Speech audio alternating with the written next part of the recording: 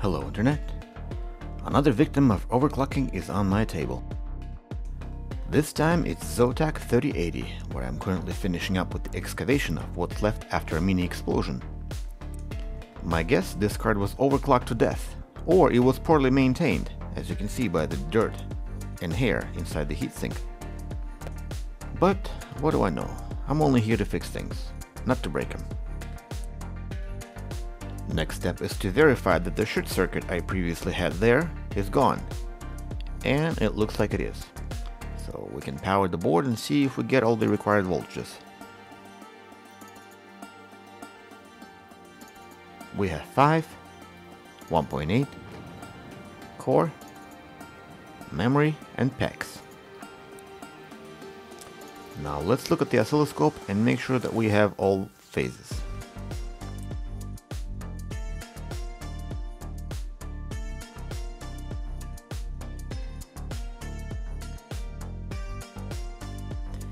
Everything seems to work as you would expect, but the card is not going to boot because there's a gap in power delivery.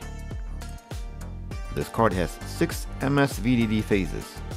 Fifth one burned out and now we have to disable it.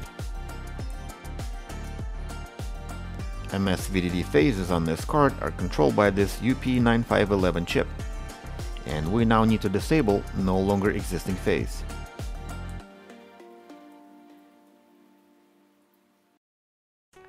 To do this, we need to remove all resistors that are connected to the sense number 5 pin. Looking at the board, all I find is this one resistor here, and looking at the other side, there are no resistance present, as indicated by the board view. Once I made sure there are no resistors connected to the Sense 5 pin, I will now connect Sense 5 pin to 5 volt using 100k resistor. That's it for the Sense 5 pin. Now let's deal with the PWM signal.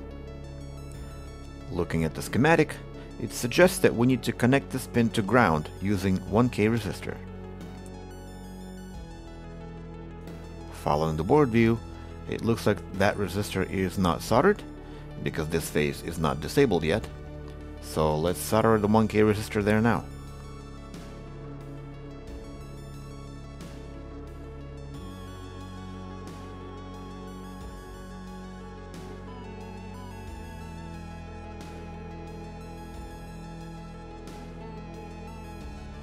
Job is done. We now have phase 5 disabled, so let's take a look at what signals we get now.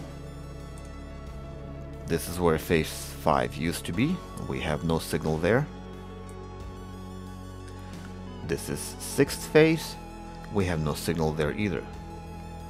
That means if you disable any of the phases, next phase in line, however many there may be, will also be disabled as a result. To prove the concept, let's boot the card and see if we get a picture now.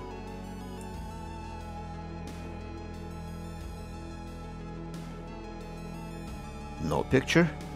My guess that burned driver MOSFET didn't only kill a phase, but it also took some of the HDMI connections with it. So let's try DisplayPort instead. There we go, and DisplayPort works.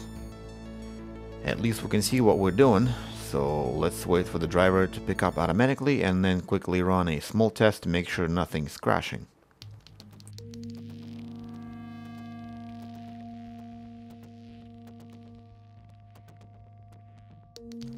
Next step is to cover it up with solder mask, make it look more or less acceptable, and then uh, continue with some more stress tests, make sure that everything works fine.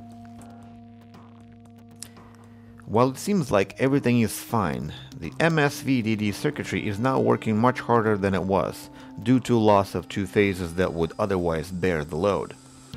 To make sure this card will not kill itself from overloading, we need to undervolt the core, just a little bit, maybe by about 10% or so.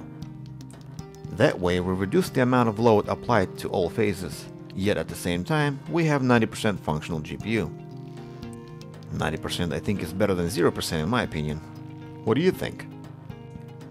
Do you guys think that this repair is reasonable to call success or a no fix no charge?